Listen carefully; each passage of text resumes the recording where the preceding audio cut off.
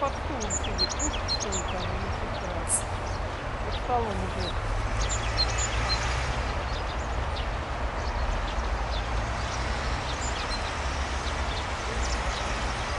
За решеткой, да.